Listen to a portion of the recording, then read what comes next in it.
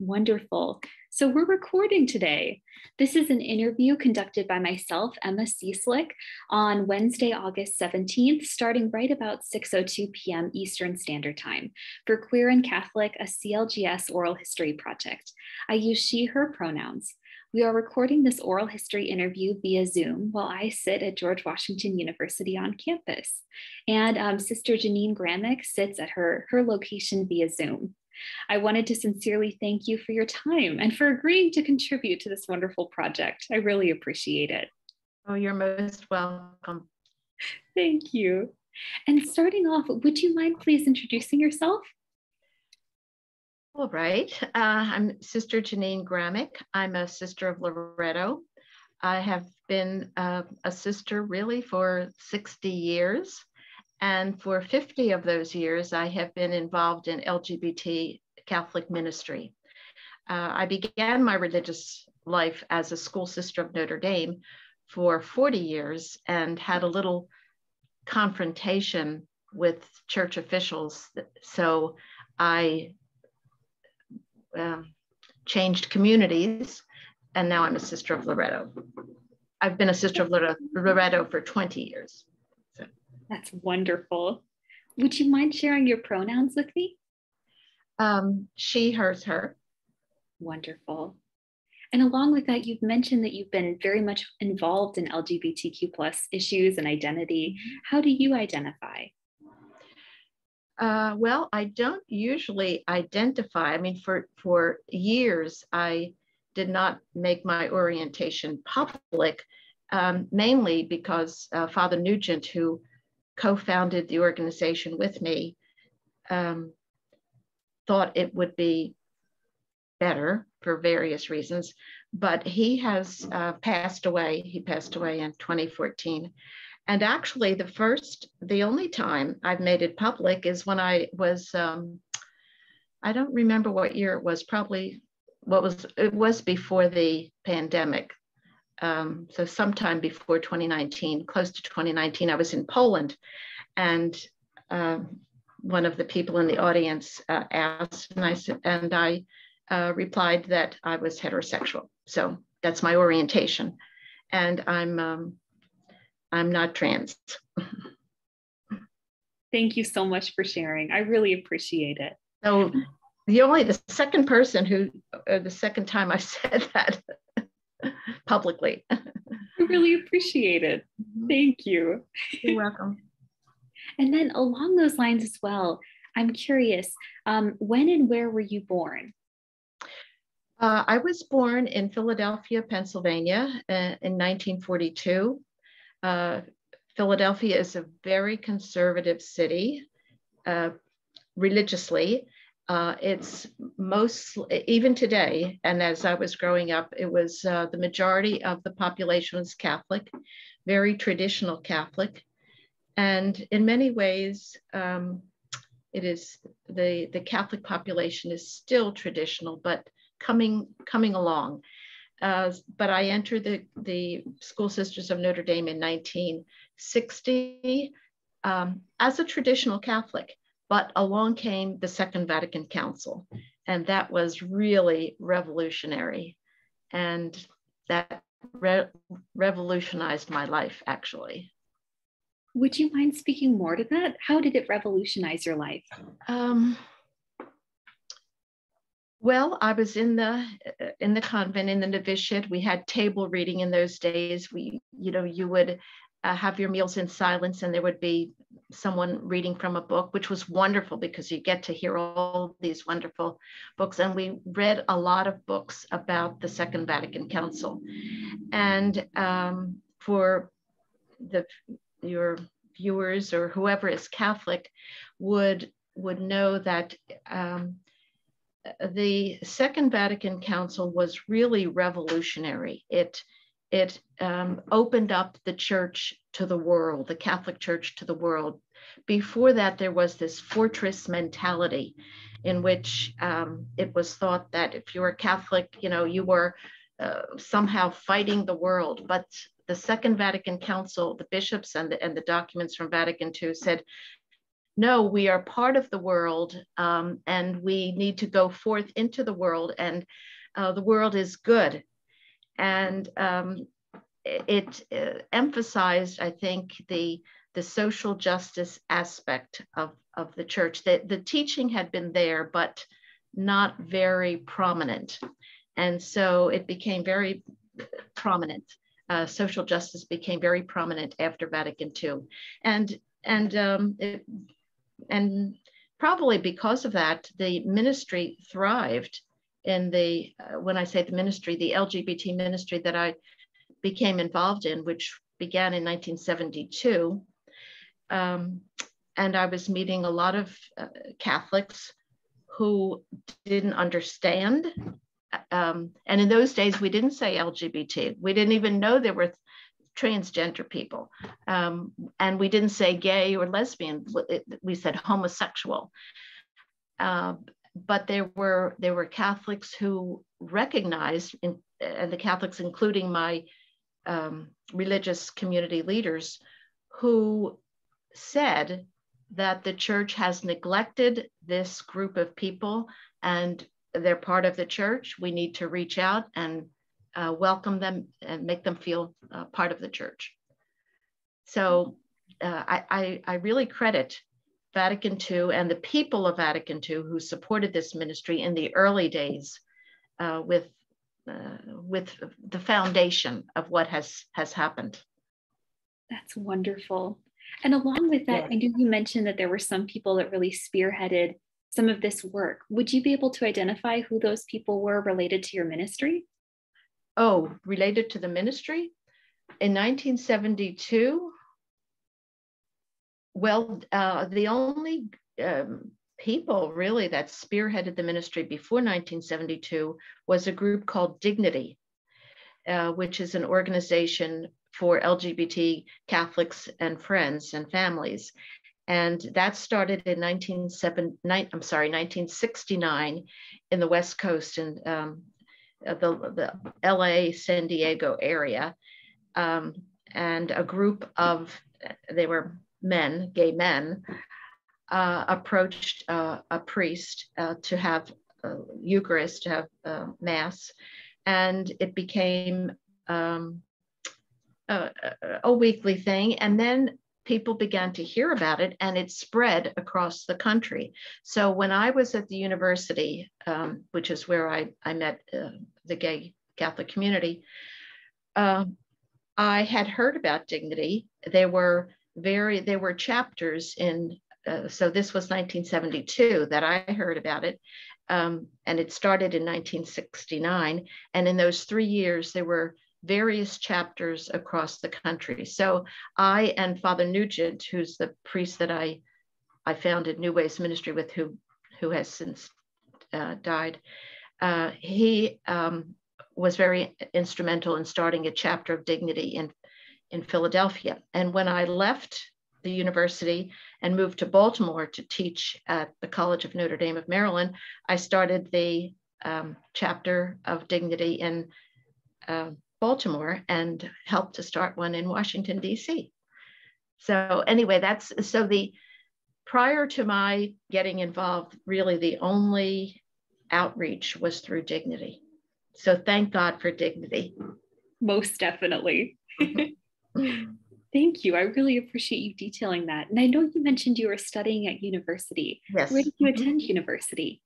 I'm sorry, what did I? Where did, where did you attend university? Well, I got my master's degree at the University of Notre Dame in Indiana, uh, but then I got my PhD at the uh, University of Pennsylvania in Philadelphia. And I, I, chose there. I could have gone to another university, but um, I was from Philadelphia. My parents were from Philadelphia. So I said, Oh, I'm going to the University of Pennsylvania so I can see my mom and dad and friends and cousins. That's wonderful. Yeah. And I'm curious, along the line of schooling, where did you attend primary and secondary school in Philadelphia? Well, if you were anyone from Philadelphia, um, we, uh, if you say you're from Philadelphia and you're Catholic, you say, well, what parish? So I was from St. Bartholomew's Parish. I went to St. Bartholomew's grade school and I went to St. Hubert's High School. in in Philadelphia, and then entered the the convent. Wonderful. And I'm curious, my one of my most exciting questions to ask you was what motivated you to to join the specific community? I know were you oh. compelled for any reason to join? Well, I always knew that I was going to be a sister, a religious, uh, from really the age of seven. And um, I, um, so in high school in, at St. Hubert's, we had many different religious congregations of women. There were Sisters of Mercy, there were Franciscan sisters, Sisters of St. Joseph. Uh, it was a huge high school. They were like uh, almost 700 students in my graduating class. As, and there were like 3,000 in the whole school. It was huge, huge. And the faculty was probably like 100 sisters um, of all these different orders. Um, but there were two um, school sisters of Notre Dame. But at any rate, um, each year I was going into a different community depending upon which sister I was friendly with. so when I was a freshman, I was going to be a sister of mercy because I liked my Latin teacher. She was a sister of mercy. Then, then uh, as a sophomore, it was the Immaculate Heart Sisters. but um, at any rate, um, uh, in my junior year and senior year, I uh, uh, had a history professor, well, sister, and um, she was moderator of the debate club. And uh, anyway, I became very friendly with her. And so she was a sister of a school sister of Notre Dame. So I said, all right, I'll become a school sister of Notre Dame. It didn't matter to me really what community I was going to, to enter. They're, they all do good work. So it was because of that friendship with her that I entered her community. Wonderful. That's great to hear. And I was really curious with that. I know you mentioned initially that you grew up in somewhat of a traditional Catholic community. I, I did. Mm-hmm. What did you learn about LGBTQ identity in your early years? Nothing. I nothing. No, I um, I did not even know there were um, well, as I said, with the word in those days was homosexual. I didn't. I first heard the word homosexual at the University of Notre Dame when I was getting my master's degree. Um, no, I take that back now that I recall. Uh, when I was a postulant, so that we're talking about 1960, I first entered religious life. And um, there was another postulant who was we would we use the term very worldly. Like she knew what was happening in the world and she she told us oh uh, when you know before she entered the convent she would go to these homosexual clubs. Now i didn't know what the word homosexual meant and i didn't want to ask because i didn't want to appear stupid. So so i never knew what that meant but I heard the word. But then when I was uh, doing my graduate work, um, at, um, getting my master's degree at the University of Notre Dame, um, one of the sisters explained it to me. and um, so that's that's how I that's when I came to know what uh, being gay meant. I mean, it's incredible, but I lived a very sheltered, traditional Catholic life. yes. And, and, probably in those days, I wasn't unique. I mean, um, you know, if we're talking about the 19, we're, we're talking about the 1960s. Yeah. So it was 1968, I guess, when I first knew what a homosexual person was. Mm-hmm.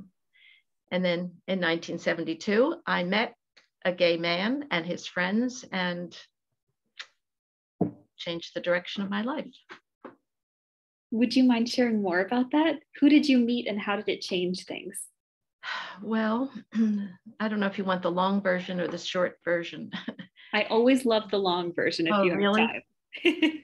okay. Well, the long version is that when I was a student, my first year as a student, graduate student at the University of Pennsylvania, and you know, nuns always like to save money um, so I was looking for housing, and um, another student told me that there was a, um, a, a, a, an Episcopal priest and his wife and their two children who lived in this house, and they would give the attic of their house rent free if the person would babysit when the husband and wife went out to any engagement. And so, oh, rent free. Wow. And all I have to do is, you know, babysit. And, the, and some ba- their their children were like five and seven, so they were they weren't babies, but uh, someone to be with their children when they went out. So um, so that's what I did when my first year as a graduate student. Now it happened that this Episcopal priest uh, was at the Episcopal church um, on campus, and the Episcopal uh, church was letting the gay community have their church hall for dances, you know, for and meetings. They uh, um, they were engaged. The Episcopal diocese was engaged in an and an outreach to the gay community. And this particular parish hall was, was used. So being curious, I asked um, the rector if I could, if there was some way I could um, like go and to, to like, it was totally voyeuristic but he said, "Oh, well, you can sell cokes, you know, or uh, the sodas at, at, the, at their dance. So there I am in my veil selling Coke. and um, I, I, just chatted and it was, you know, it was a learning experience. And then um, the, this, the rector was also shortly there after this dance, they were going to have a, um, a, a, liturgy um, and uh, which is a, a mass and um, he he said he would like to have um, the, uh, the, Episcopal Church, an Episcopal priest, and a Roman Catholic priest uh, co-preside.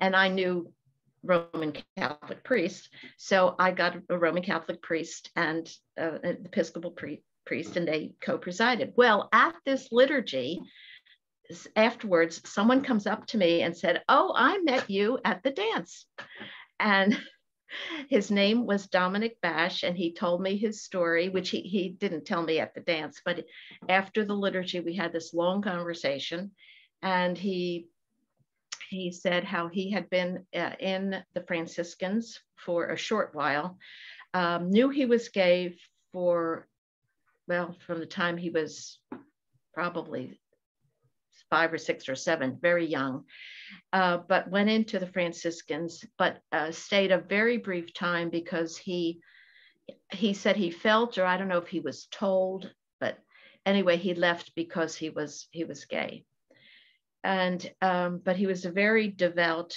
um, very devout Catholic, and um, he said he knew other Catholics, gay Catholics, who would love to come to this to a liturgy such as he had just experienced. He wasn't shy at all, but his his friends, his gay friends, were were shy, um, thinking they were Catholic and they could no longer be welcomed in the in the church. So I said, well, let's have a, a, a mass at your apartment for your gay friends, and that's what we we did.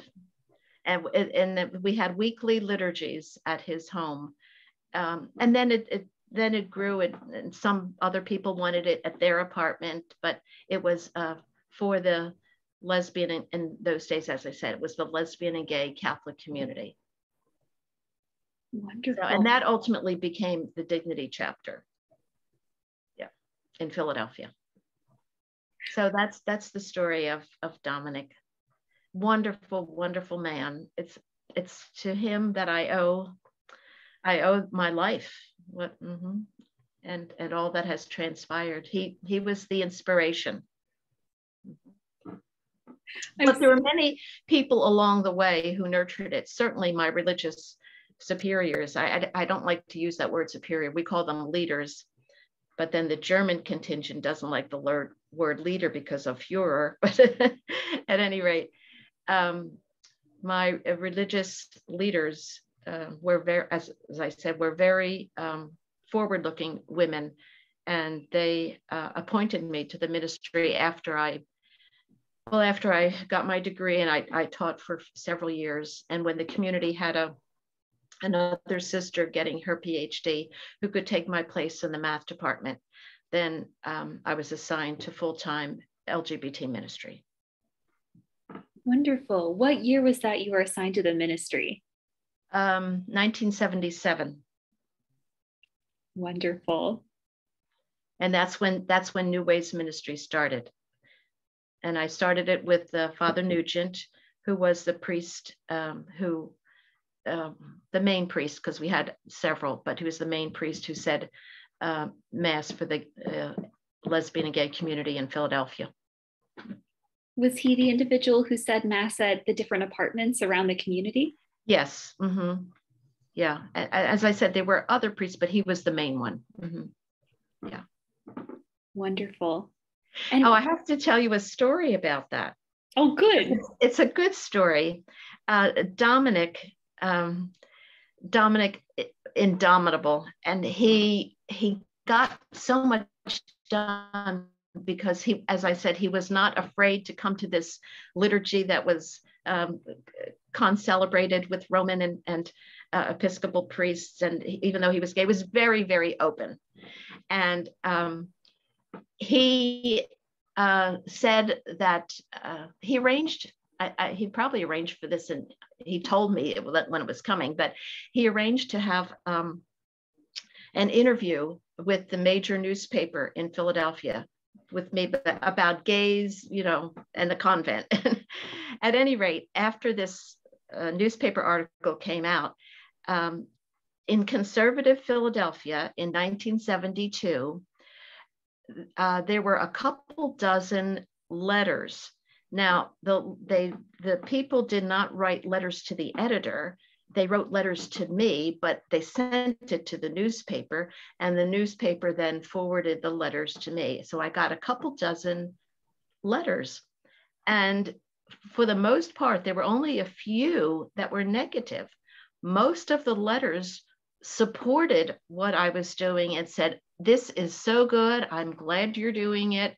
Uh, this is what the church needs. And among those letters was one from a, a priest named Father Robert Nugent. And Father Robert Nugent closed his letter by saying, If there's anything I can do, please let me know. So I called him, or I don't know if called or if he gave, probably gave his phone number. And Anyway, I contacted him and I said, Yes, you can be a celebrant for the, for the gay community. So that's how he got involved and then he he when he tells that story or when he used to tell the story he would say and i've never used those words again. If, if there's anything i can do let me know. See what he got into. But but he no he was he was happy to do it. I'm so glad to hear it. And mm-hmm. along those lines what was the year that the newspaper article came out? Do you remember? Yeah it was 1970 1972 uh, because it was 71 when I met Dominic. And so this was seven, yeah, the newspaper ar- article came out in 70. I have a copy of it. Yeah, I could probably send that to you if you want, but mm-hmm. anyway, it was 72. Wonderful. That would be wonderful. I would love to read it. Okay. Mm-hmm. And then along with that, I know circling back to, I was really curious, you had mentioned that you first asked the question and got up the courage to ask the question of what a homosexual was or who who that was for a specific sister mm-hmm. in the mm-hmm. community. What did you first learn? Well i don't even remember. Uh, she wasn't in my community. I, it was at notre dame. We were both students at notre dame. And uh, the um, notre dame was having well they, they had films like every week. It was uh, it was wonderful. I mean, you could see all these foreign films or uh, it, it, it needn't be foreign, but all these um, uh, wonderful uh, films. And um, one of the films was, uh, I think, about homosexuals, and I didn't know what that was. So I asked her, but you know, I don't even remember what she said. Oh, but she probably said it's, um, um, you know, uh, men who like who who are romantically involved with other men and women who are romantically involved with other women. You know, I, don't remember. no worries. And I was along with that, I know that you've you've mentioned a little bit more about New Ways Ministries. Would you mm-hmm. mind sharing more about what the experience looked like of founding that and what that ministry looked like taking shape? Well,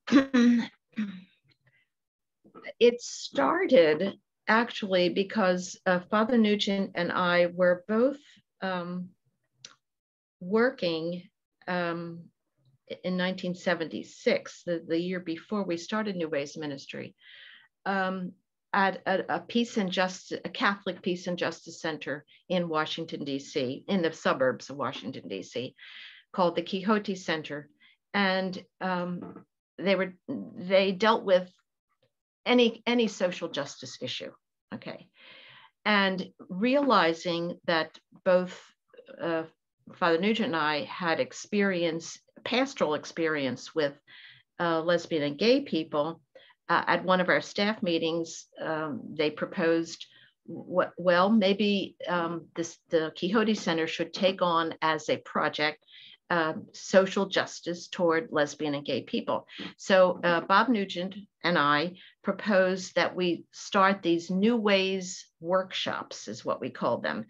Um, we took the word new ways because in that year, 1976, um, uh, Bishop Mugavero from Brooklyn had written a pastoral letter called Sexuality God's Gift.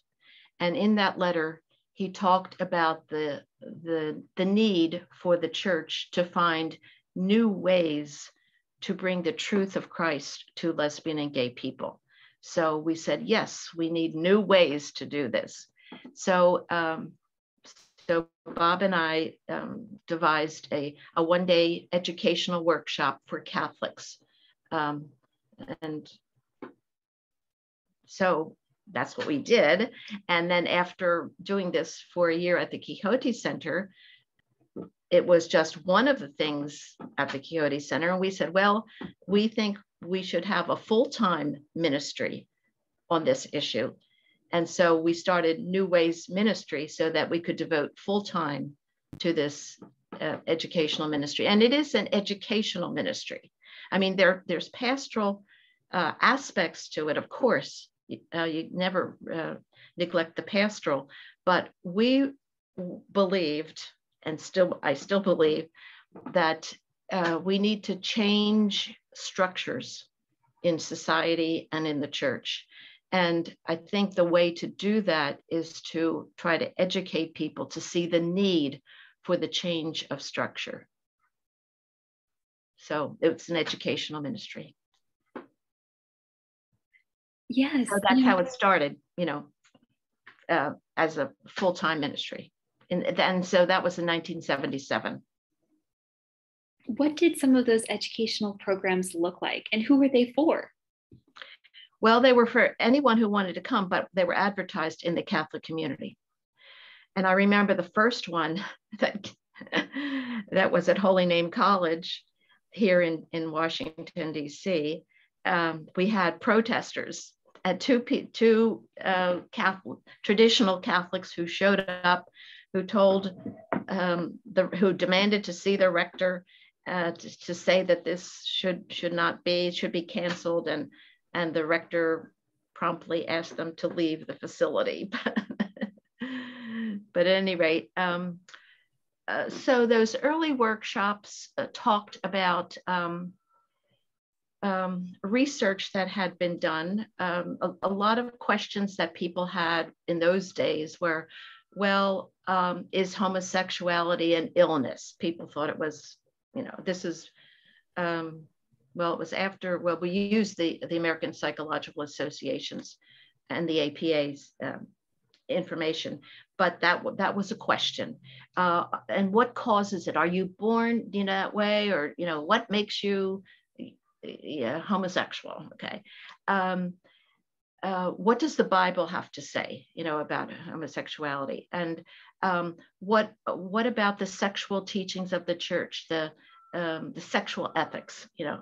So they were, and then and then we introduced other research about homophobia. Um, so it was it was trying to give people information.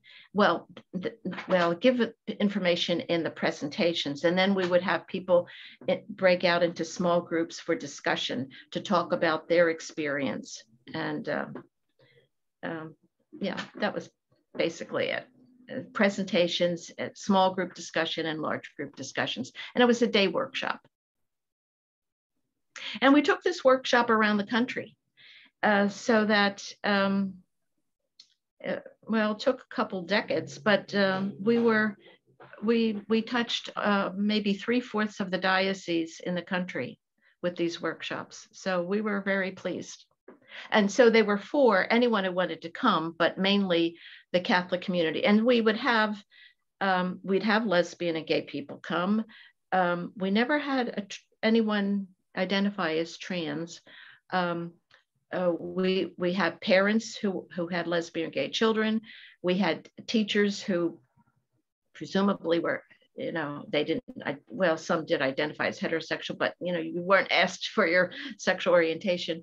Teachers um, um, school personnel like uh, um, those who were in administration uh, just catholics across the board. Yes. And i'm curious how did people respond to the educational workshops? I know you mentioned that there was there were a few protesters but how did attendees respond uh, oh, um, very positively.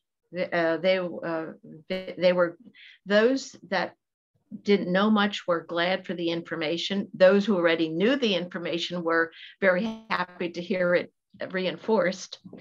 Um, I would say in the like the 20 years that we went around the country with these workshops, um, you know, the, I, I, mentioned the, the very first one had had protesters but I, I could count on my my one hand fewer fewer than than five uh, incidents in which we had protests, and sometimes we'd have people who like came and to the workshop and were you could tell they were protesting, but they were civil and they would sit there and ask questions and we would engage in rational discussion and that was good. That was good but you know the, the few times there were agitators who weren't interested in discussing at all but that was the minority of people.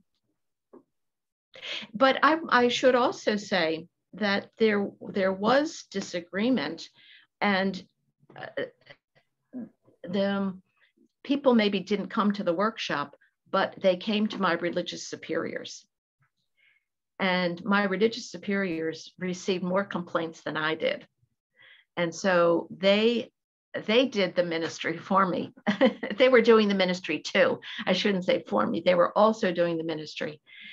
And um, I was just with my one of my uh, former superior generals uh, a few weeks ago. We had a lovely conversation. I said, Pat, do you remember the time when you, you were telling me about this woman who called you on the telephone and was ranting and raving because she heard me on the radio uh, talking about the ministry? And, and I, you know, and I, I asked you, I said, well, what was her problem? What was she concerned about? What? And she said, well, honestly, I think she was just upset that you were talking about the issue.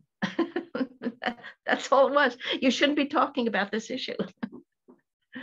but um, so so the my religious congregational leaders um, had to bear the brunt of a lot of um, you know protests. and one time, a, a, different another provincial, not Pat, but uh, Sister Ruth Marie May, who was they also they all were supporting this 100% and she called me and she said well i was i guess i was with her i saw her and she said Jeannine i got a call from the cardinal. I said oh.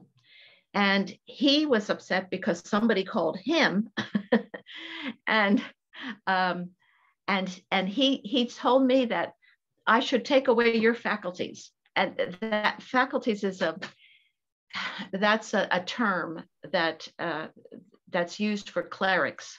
It's permission that a bishop gives to a priest to uh, say mass or hear confessions or you know dispense the sacraments in the diocese. They give them faculties, and so she said, uh, Ruth Marie said to, to the, the cardinal, she said, Cardinal, I can't take away her faculties because she doesn't have any.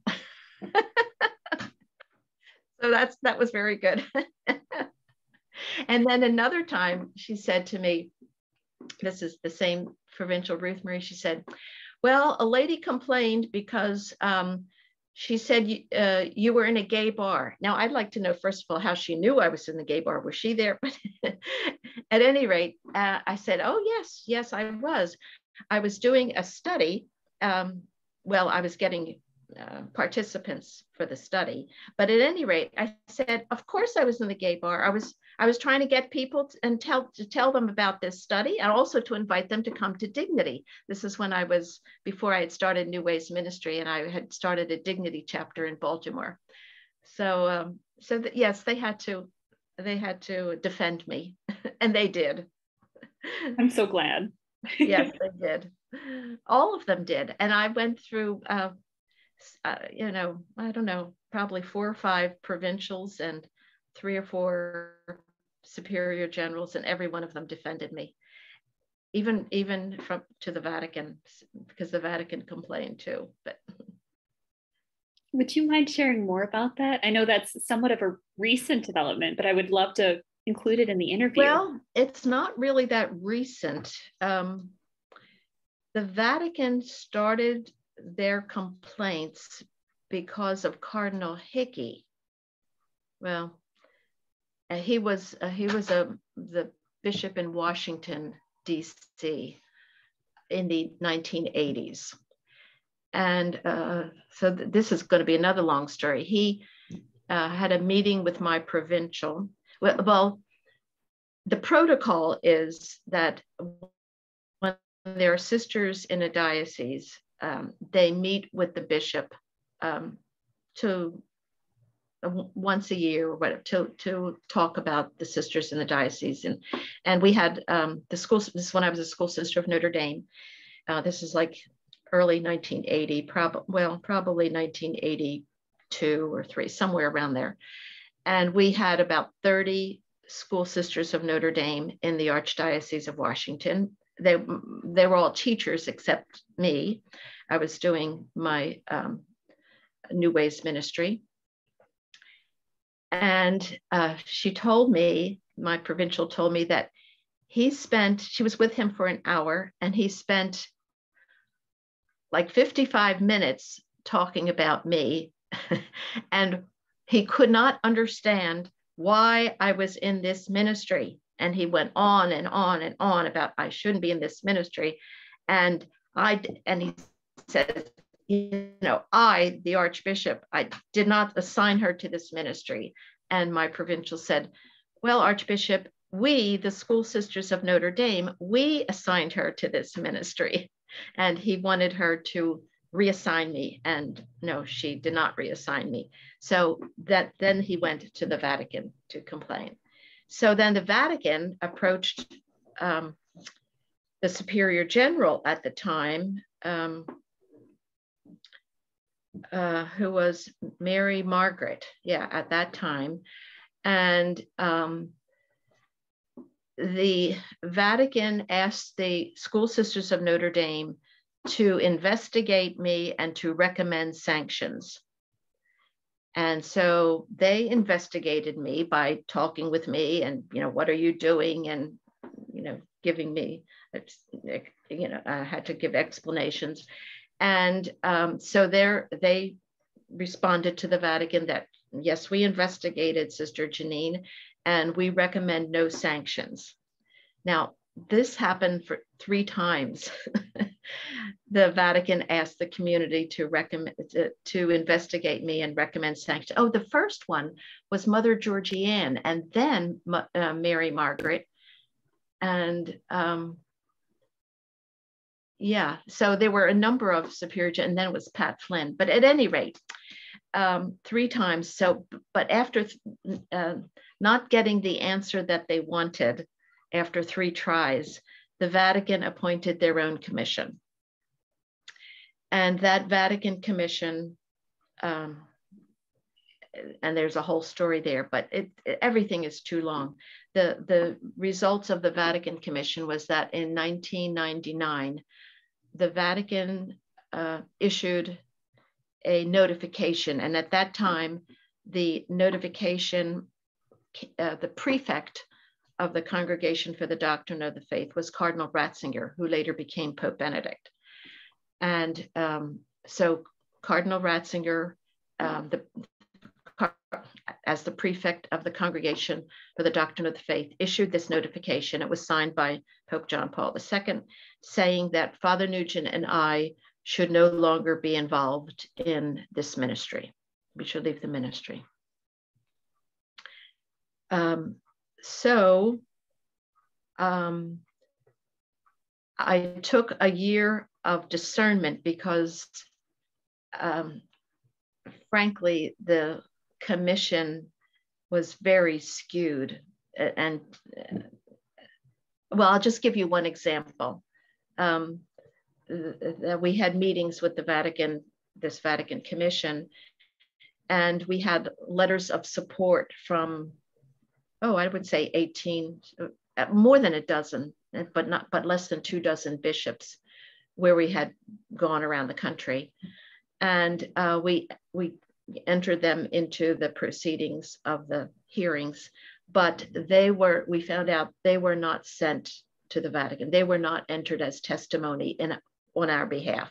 And that's just one example. I can give others, but that's that's an egregious example of how the commission was not fair at all, in my opinion. So, at any rate, I was hoping that the, there would be a reassessment, you know, and um, thousands of people uh, all across the globe, because it made international news, Catholic news, uh, wrote to the Vatican complaining about this situation. Well, rather than initiating another um, um, hearing, the Vatican just told the School Sisters of Notre Dame, my community, and Father Nugent's community that this has to stop. No more letters. Like so. Uh, I was called, well, we were both called to Rome, uh, to our respective communities, and uh, told that um, we must um, and this came uh, unfortunately from the School Sisters of Notre Dame. Um, but I think uh, my, they were afraid of what would happen if they didn't do it. They were not told to do it, but they were advised to do it by canon lawyers. And so they were advised that if I did not obey and cease and desist and write no more, speak no more, because I had been speaking about the Vatican Commission, not doing the ministry and the, the workshops, but speaking about uh, what I had experienced in this commission. So if I did not cease that, um, I would be ultimately expelled from the community.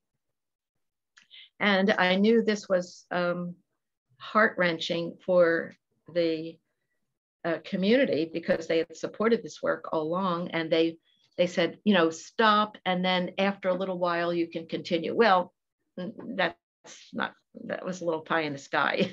so, um, so I, um, I transferred to another community. I transferred to the Sisters of Loretto. So that um, injunction from the School Sisters of Notre Dame which they felt they had to do, no longer applied at, to me. But then the Vatican started writing to the Sisters of Loretto. but the Sisters of Loretto, they got nine letters in the course of a number of years, but uh, they answered them politely, you know, and but you know, I, I remained a sister of Loretto. they didn't, they didn't, um, yeah, they supported me. I'm glad. And then we have Pope Francis, and then the letter stopped, and then Pope Francis is congratulating me for my 50 years in the ministry. So it's a whole new, whole new ball game. but it's curious. yeah. Go ahead.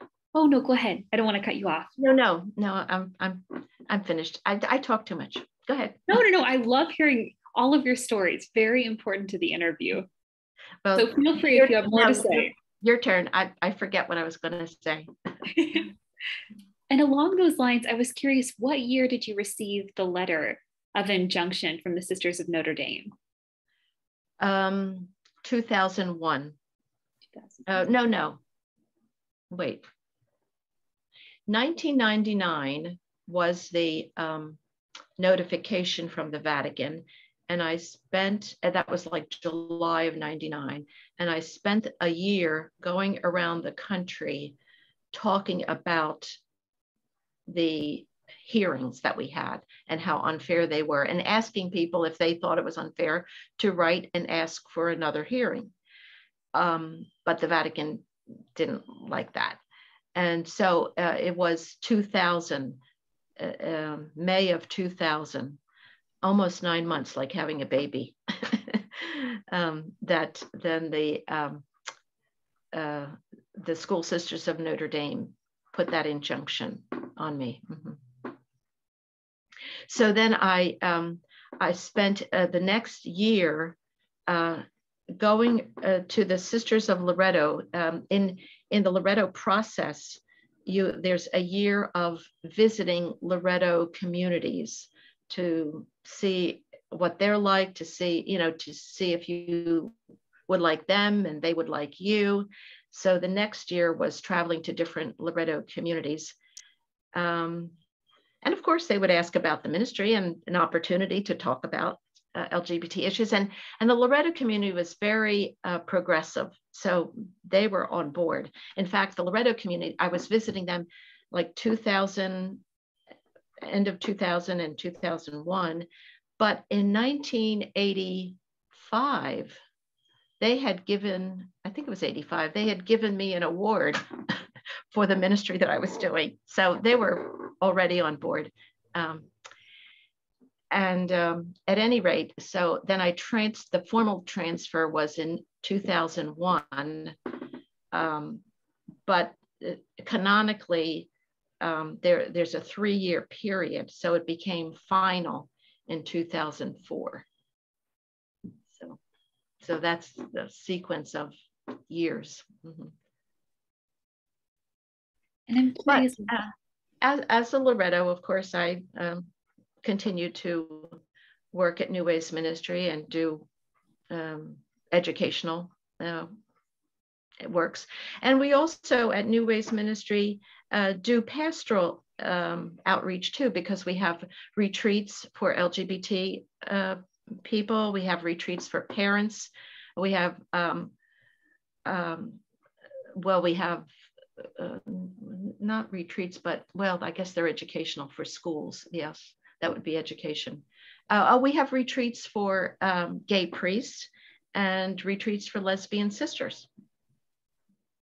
That's wonderful. How did those get started? I'm curious to ask. Um, well, the uh, let's see, the retreats for parents got started because parents were asking. Um, we knew parents individually, and they said, "We'd love to have a retreat." So we we set up a retreat and our I think the first one we had as uh, Bishop Gumbleton as our retreat leader, and uh, he was wonderful. Uh, his his story uh, has been told, and there are a couple books out and new ones coming out about Bishop Gumbleton. I don't know if you know that name. a very well known and well loved name. Okay, okay. So he gave the first retreat, and um, so the, the retreat for parents started because they were asking for it. Um, the retreats for lesbian sisters began because a lesbian sister, well, I had lesbian sisters writing to me from different parts of the country. And I would put them in touch with other lesbian sisters so that they don't feel alone. And then there started to be a network in different cities. And um, finally, this uh, the, the network, I don't remember actually how it, the first, well, at any rate, somehow in in 2000 we had a a workshop. It wasn't a retreat it was a workshop for lesbian sisters and congregational leaders uh, like the mother superiors and formation and vocation directors. Um, and the reason for bringing those constituencies together is the lesbian sisters would feel support from leaders might not be their community leader they might not be out in their community but these leaders who came were were supportive. And then the the supportive leaders would learn more how to be um, um, uh, how to uh, move the issue i guess educationally in their own communities. So so we began to to have those um, we uh, those yearly. They were yearly um, meetings and they were workshops. But then um, after, uh, and it has, it's been pretty recently, it was before COVID, but uh, maybe 10 years later, uh, the lesbian sisters said, we love uh, meeting with the leaders, but we'd also like to get together with just lesbian sisters. So uh, I guess maybe around 2010 or 2012, something like that we began to have a, a retreat just for lesbian sisters. But we and we they still continue. We like we had the last um, march um, this past march we had um, the workshop for all the constituencies. And um, next year we'll have a retreat just for lesbian sisters. That's wonderful And I'm curious, what year did those retreats and those workshops start? Well, see, I'd have to go back into my computer and look at the files and look at the uh, brochures. Um, I don't, I can't. I know, I know the first. Um, it was around 2000 uh, was the first time that we had the sisters and congregational leaders and for the most part, we've been meeting at the Racine um, uh, Dominicans uh, retreat house uh, in uh, outside of Milwaukee, Siena Center. They that's been the home, not for all, but for most of these workshops and retreats. Mm-hmm. But they've been in different parts of the country. We had one in California. We had one in uh, Philadelphia. We had one in Ohio. Uh, but mostly we've been outside of Milwaukee. And recently, uh, right before the pandemic, um, uh, there we had a, a, retreat there for priests, and it was um, they were pro- picketers and protesters. And then when they found out we were having, like in a few months, we're having one for the sisters, they picketed and protested the sisters. but these were the people that didn't want to be, you couldn't engage in conversation with. So, yeah. I see. So, pardon? Oh, I, I was mentioning, I see. I'm really curious. I, I know you speak, you spoke originally about retreats with um, with Bishop um, Gumbleton. Would you mind yeah. sharing more about what those retreats looked like, especially supporting parents? Well, again, um, I I would have to go back and look in, at the brochures and see the, the schedule. But um, Father Nuge and I were not the retreat leaders. We would get like Bishop Gumbleton or um, uh, some other uh, people to lead the retreats. So essentially, the retreats were similar to what we did in the in the workshop, meaning there were uh, talks, there were presentations that uh, the leader would, would make. Uh, there would be small group discussion by the parents.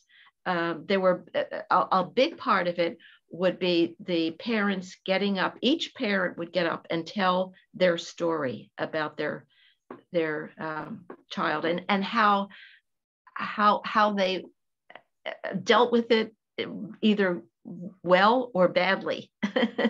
And some you know had conversions and they felt terrible. But i think for the most part in my recollection they they dealt with it very lovingly. And any reservations they had they held back from their son or their daughter because they didn't want them to to uh, you know to they didn't want to burden them. Um, but they brought their burdens you know to the retreat and their burdens were well i am so grieved because my gay son doesn't go to church anymore or my lesbian daughter. And and i would say for about 10 years this was their lament. Um, uh, that was like the, the 90s in the 90s and then i saw a change uh, like like around 2000 in the turn, turn of the century um, the parents would say well my heterosexual son can get married in the church. Why can't my lesbian daughter get married in the church? So now they were saying what's wrong with this church? Not what's wrong with my child because they're not going to church but what's wrong with this church so that was very interesting. Mm-hmm. Yeah. Yeah. So, and these these uh, parents were pillars of the church. I mean, they were um, people in the parish who, um, you know, were in the uh, in in all of the uh, you know sodalities and they would be the people who would stay after sunday collect and count the collection you know with basket. I mean they were they were devoted members of the parish. They would would be the secretaries or volunteers in the parish. They were very connected to the parish. Um, and so yeah now they're saying you know what's wrong with this church And I'm curious, along with that, were any of the parents involved in PFLAG with any local? Oh yes. Oh um. Oh, absolutely. Uh, uh, especially. Um, well, I guess not especially lots of them, but but I'm thinking of the Philadelphia chapter of our parents. Uh, we called it our Catholic Parents Network. Was started by Catholic parents who who had initially gone to PFLAG, and then they they found out oh, but there was something Catholic, so they came, so they they called our Catholic Parents Network. They said, oh, well, that's the Catholic PFLAG. yeah, they would go to PFLAG and and um, get the Catholic parents to come to the Catholic Parents Network.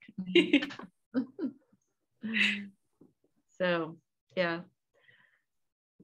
So um, and um, the the and we encourage the parents uh, to form not only a network that uh, we had a base network in Philadelphia, but there were networks in other places in in um, um, particular parents in Rochester, um, Mary Ellen and Casey Lopata, and they had great support from their diocese, and they started a family ministry in in the diocese of Rochester and that uh, we encouraged them to make it a national ministry for parents and that grew into uh, a catholic uh, parents group um, nationally. Wonderful. Do you know when that was founded? Not off the top of my head. No worries. No worries. But i would say in the i would say the in the late 90s yeah. But i I mean, if you want the exact dates, I'll, I can check them for you. But. Thank you. no worries for the interview. And I, am curious, along with that, you've done a wonderful job of talking about how modern events and historical events have really impacted the ministry you do. And one of the questions I wanted to ask was how did the HIV and AIDS epidemic impact mm-hmm. your ministry? Well, um, it impacted the ministry um, in two ways, I guess. There was um, the prong that was reaching out to people with AIDS. And there were a lot of AIDS ministries started. And there was a Catholic AIDS ministry started by a sister and a, um, I don't know if he was a priest or a brother, I can't remember, uh, in the 80s. Um, but then there was also a group of Catholics who, and we've heard it, who were saying, well, this is God's punishment, you know, for AIDS. Uh, that, uh, I mean, God's punishment to gay people.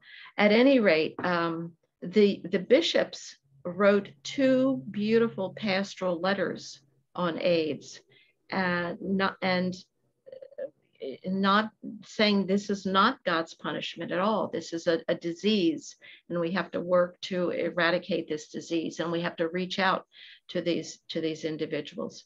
So um, the way it, though it impacted New Ways ministry is we we would we did not do direct AIDS ministry, although we we wrote a publication like the Stations of the Cross for people with AIDS, but but we would uh, steer them, I guess, to the Catholic AIDS ministry, and we would we would continue to do our educational LGBT work. Um, so so I guess it had you know the positive effect of bringing more people into our ministry, and then um, a, little negative effect. But th- those are the people. I, I don't know that you're going to reach them at all. I, I don't know. I, I have hope. I have hope. I shouldn't say that. I do have hope. I hope so, so too. But yeah. you're very true. It's a very sad, unfortunate event. But I'm glad yeah. your ministry was there to offer yes. that. You mentioned a Stations of the Cross. Uh-huh. What, what, did that look like? Well, it took each of this, um, the 14 stations of the cross and did like a little meditation on each station uh, and, and focused it on people with AIDS. And so um, in one of our pilgrimages, we, we uh, that was another thing. We, we did pilgrimages to various Christian sites. And the, the very first pilgrimage was to the Holy Land. And in Jerusalem, we did the Stations of the Cross, and we used that booklet at each station and prayed um, with the with the prayer there. So I'm curious, yeah. what did the pilgrimages look like? When did those start first start? Um, probably around nine, the late 90s, maybe 1997. Maybe that was the first one.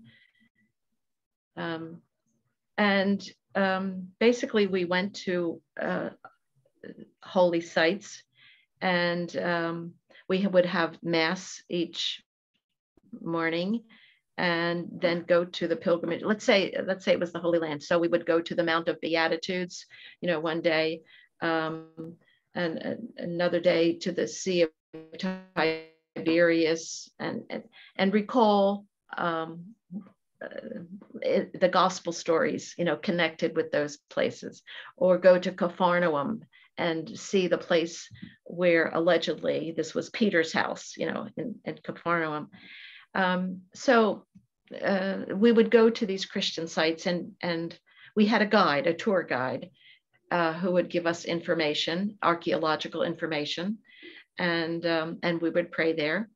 And uh, then in the uh, evening, uh, we would have a reflection period of like, what did the, what did the day mean to you? You know, let's bring that to prayer and share some of the um, responses that you had to to the day.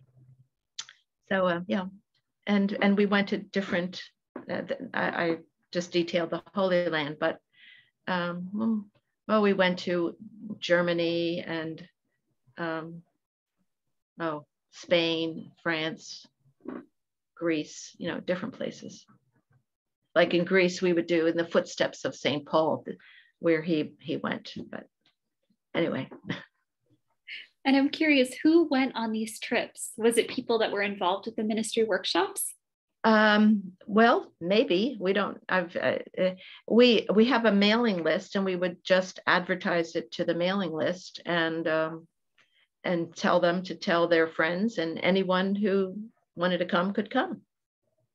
It was for LGBT Catholics and their families and friends. Wonderful. Mm-hmm.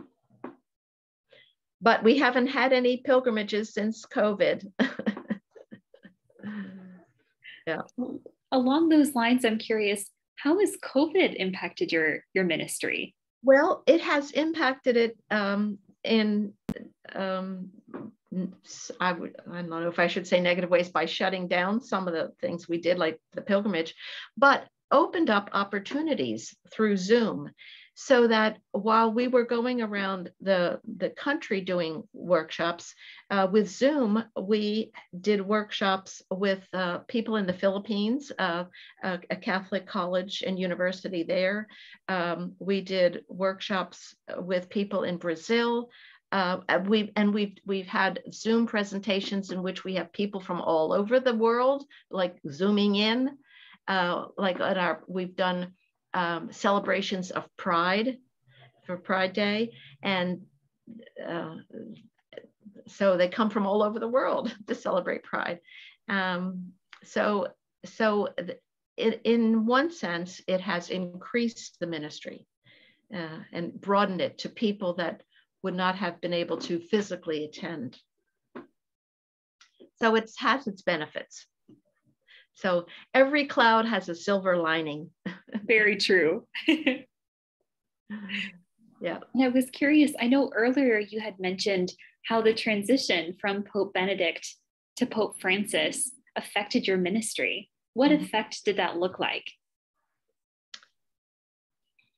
Well, the um, the biggest effect is that we have been in correspondence with Pope Francis. And uh, that has opened up doors to people who may have felt um, a, a little intimidated by us because of the sanctions from the Vatican on Father Nugent and myself. Well, the sanctions on Father Nugent myself came in 1999, but also New Ways Ministry itself, because I, New Ways Ministry is bigger than me, bigger that I should say bigger than I, um, because we have you know other people here, um, the director, associate director, and spirituality director, et cetera, et cetera. But um, in 2010, I believe it was, uh, the U.S. bishops. Um, uh, came out with a statement against New Ways Ministry, not against Father Nugent or me, but against the organization.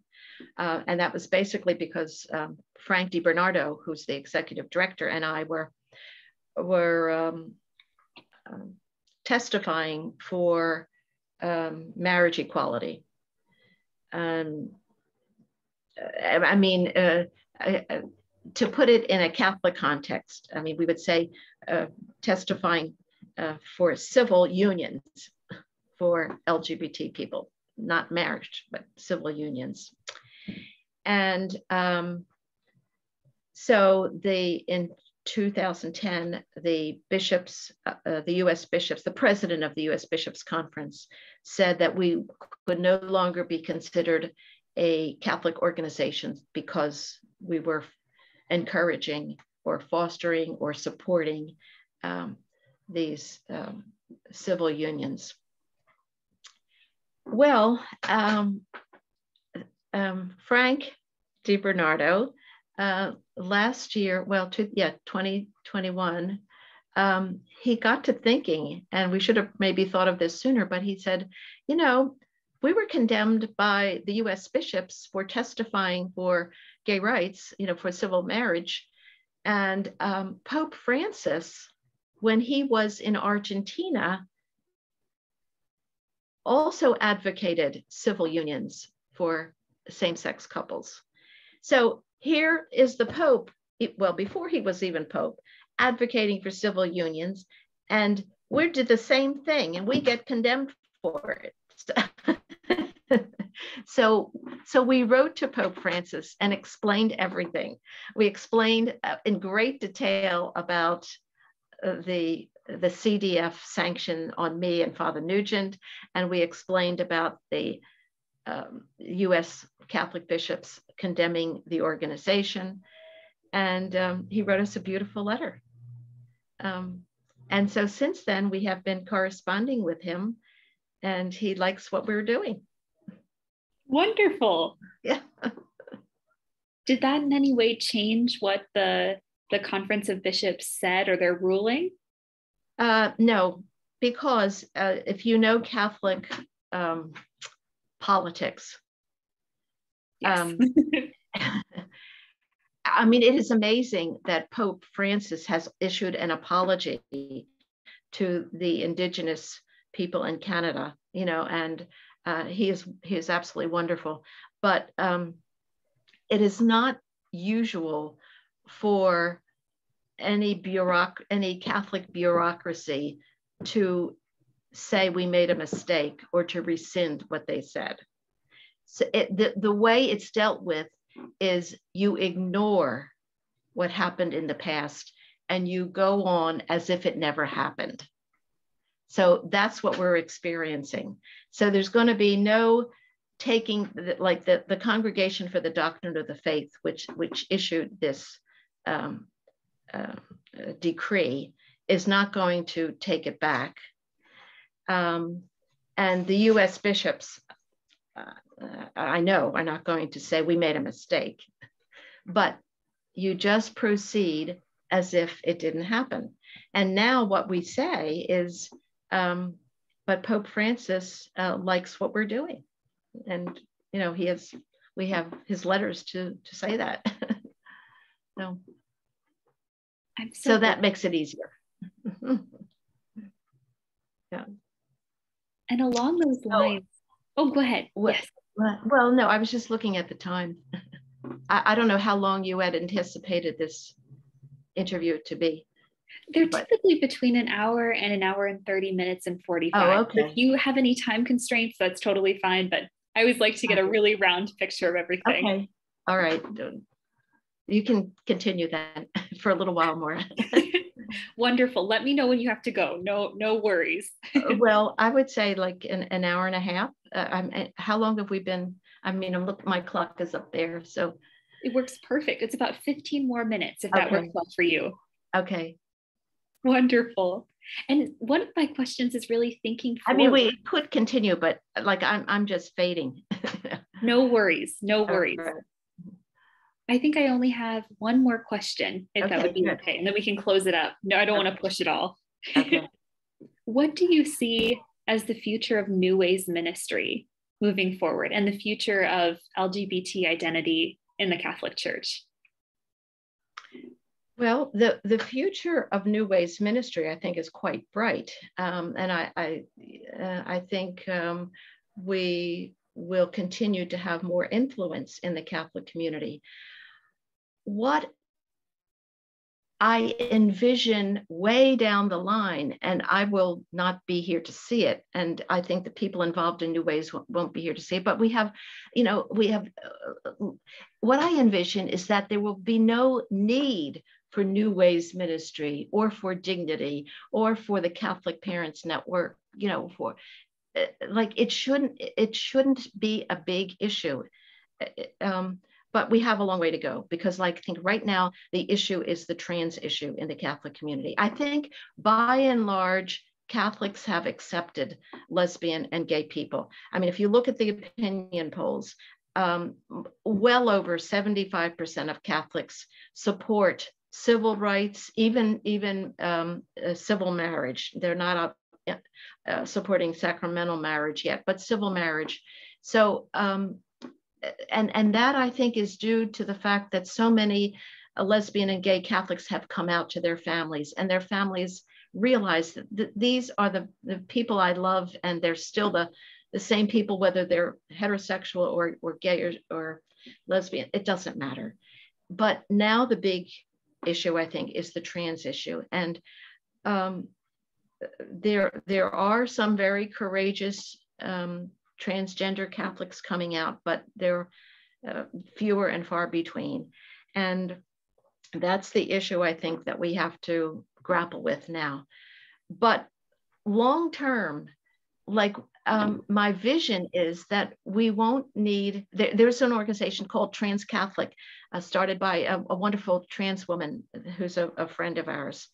But at any rate, uh, the long-term vision is that we won't need any of these organizations, that, that we will be the church that Jesus envisioned, the church that accepts everyone, no matter what your gender, no matter what your sexual orientation, no matter what your gender identity is um, or your gender expression. It like we are all flowers in God's beautiful garden. So, um, but the, the, simple answer to your question of what do I envision for the future for New Ways Ministry, it will just be easier because of uh, Francis's support. Oh. That's wonderful. Mm-hmm. So um, we have a new booklet out, if I may be um, permitted to give a little. Go for uh, it. Let me see if I have it on hand. Uh, uh, no, I don't, but I'll give you, oh yeah, here it is. Here's our newest one. Um, this is A Home for All and it is based on the social justice teaching of the church, which is what we all must follow. And um, as you see, the the um, Catholic call for LGBT non-discrimination, if we are following the social justice teaching of the church, which we are called to do, then we won't discriminate against LGBT people. So that's um, one. And I'll, I'll give you my little uh, my little spiel too. We have a book for parents called blessed parents. Um, it's stories from parents who have lgbt children. And then i mentioned lesbian nuns and we have even a bigger book called love tenderly sacred stories of lesbian and queer religious and this is this is a beautiful book i think of with about a couple dozen stories from lesbian sisters, um, some of whom are still afraid to use their name. They use pseudonyms, but they're telling their story. They're coming out. So, and uh, um, anyway, so there's some Wonderful. of our, yeah. I'm so glad you shared them. It's wonderful to see the output this work grants to the Catholic community. And there's another book I don't have a copy here, darn it, but it's uh, a book about Michael Judge, written by the, our executive director, uh, Frank DeBernardo.